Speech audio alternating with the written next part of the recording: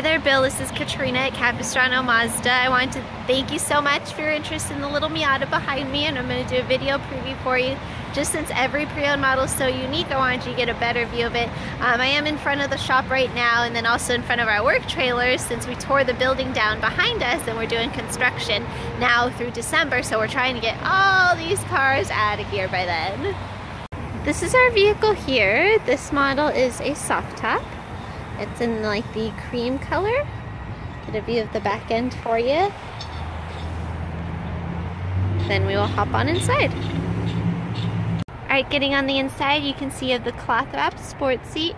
You do have the automatic transmission with the manual mode. They have upgraded and replaced the steering or the um, radio system in here, not the steering, sorry. Um, you do have the available paddle shifters and your cruise control on the steering wheel as well.